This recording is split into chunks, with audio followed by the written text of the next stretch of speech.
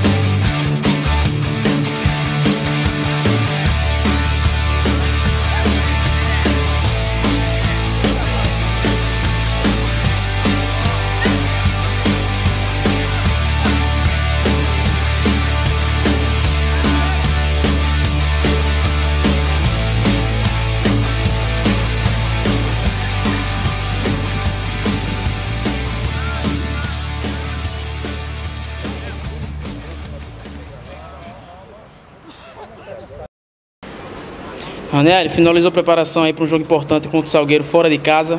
Qual o pensamento da equipe aí para essa partida? É, sabemos que o jogo vai ser um jogo muito importante, muito difícil contra a equipe do Salgueiro, apesar da posição que a mesa se encontra.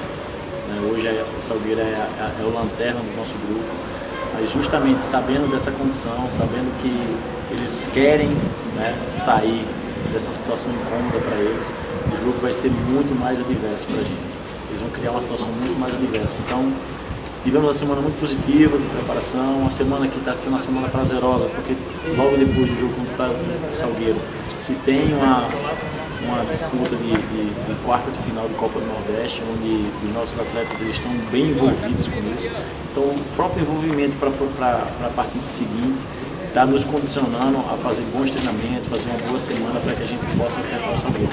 Sabendo também que a principal, o principal objetivo da ABC esse ano é subir, é ter o acesso. Então jogos como esse, como o Salgueiro, principalmente para a situação que o Salgueiro se encontra, cabe a nós buscarmos um bom resultado lá, né, buscarmos a vitória para que a gente conclua e nos mantendo no G4.